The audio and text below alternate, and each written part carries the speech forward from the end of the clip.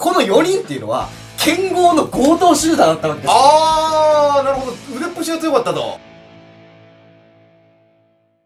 俺たち、いけピラスケくしゃちゃん早くね 早いよ。あー、いテンポよくいかないと飽きちゃうから、視聴者は。はうん。ということで、今回も歴史参戦企画でございます。はい。今回はですね、はいはい。事件ですね。あー、歴史上にあった事件。はい、前回やったんですけど、今回第2回ということで。おうおうちょっと変わった事件。そうなんか、ちょっと変えた事件みたいな。そうなんですよはいはいはい、意味がわかんねえな。はい、まあ歴史上の事件ね。はい。ということで、誰いきますか？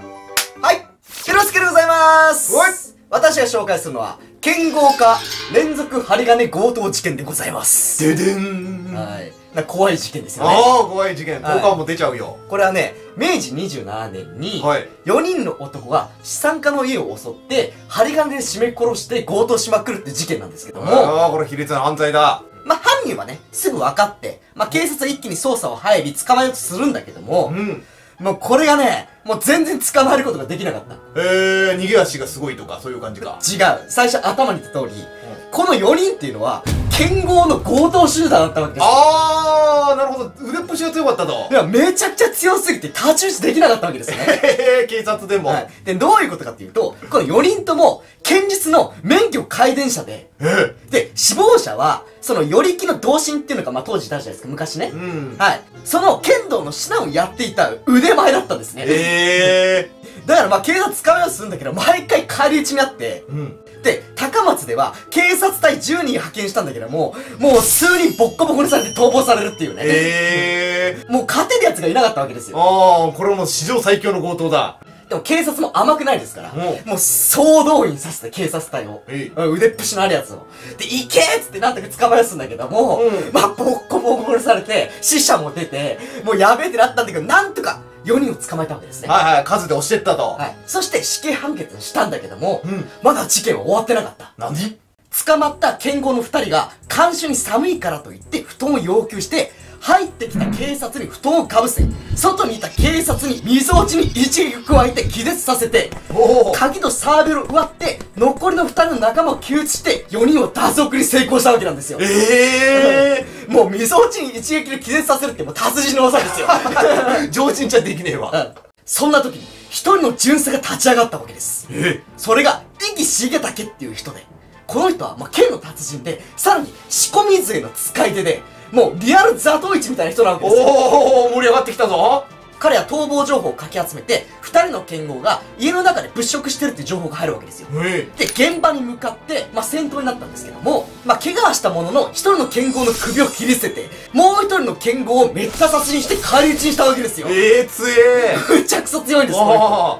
そして残りの二人も捕まえようとしたんですけども、まあ一人でなんとか捕まって、一人は、まあ逃亡に成功しちゃって、そっからもう見つからなくなっちゃったわけですね。うん。でもそんな強すぎた剣豪を三人捕まえるのってやっぱ名誉なわけですよ。いやいや、そうよ。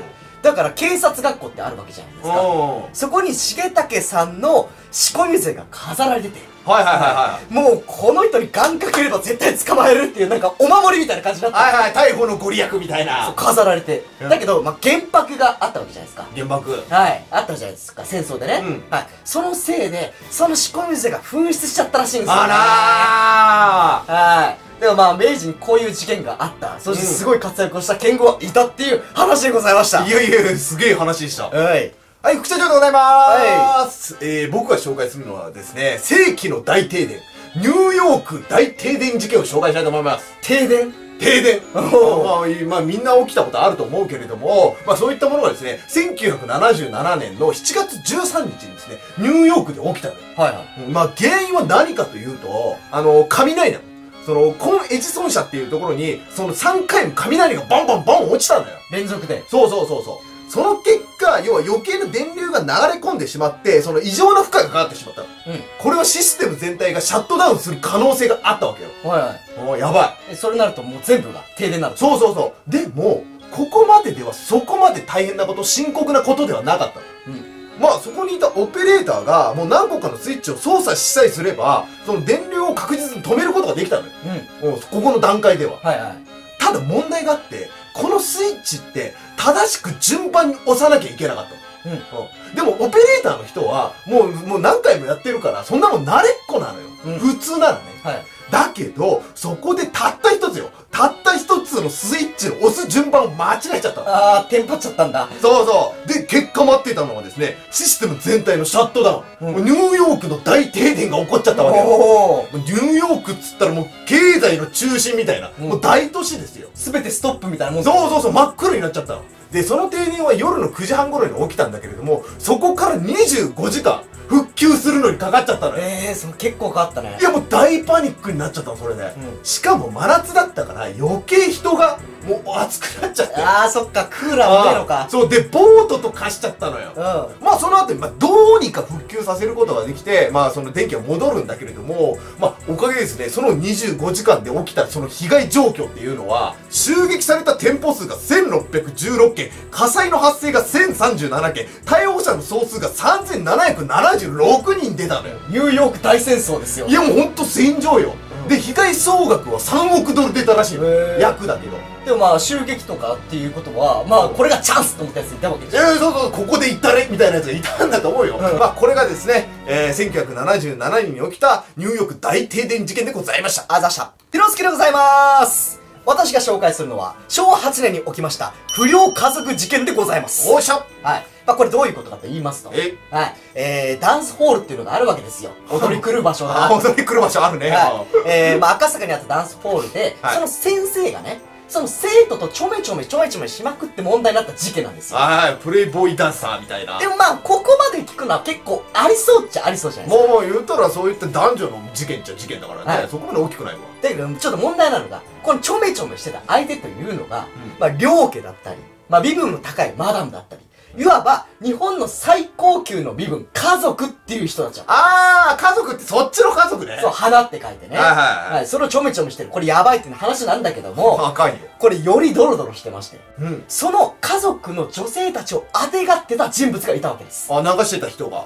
それが、柳原時子っていう人物でして、まあこの人旦那さんいたんですけども、まあ疎遠関係になってしまって、はいそのダンスホールの先生にハマってしまって、あ不倫関係になって、あ。うん。だけどその人プレイボーイだから、なんとかこの関係を保ちたいからっていうことで、もう知り合いの家族をこう当てがって、当てがって、当てがって、なんとか関係を保ってたわけですよ。はいはい、お点数稼ぎをしたと。そう。で、この柳原徳子さんがやばいのは、柳原家というのは、大正天皇の聖母の柳原成子の一族なんですよ。おー、やばいよ、俺は。やばいでしょ？おまあ、いわば、天皇家の一族が、そういうことやってるから、どういうこっちゃねんっていう問題になったわけなんですよ。うん、まあね。で、さらに問題なのが、これ捜査始まるから結構浮き彫りになってって、事件が。うんはい。その徳子のお父さんが、男色関係の人がいて、その関係者にお金をむしり取られてるっていう情報が浮き彫りになり、あで、この柳原でピンときた方もいると思うんですけども、前回事件参戦でやった白蓮事件っていうのがあったわけじゃないですかあ。。ありましたね。はい、白蓮さんですよ。はい、この人もね、駆け落ち事件で問題になって、まあこれも天皇の一族でやばいぞってなったわけなんですよ。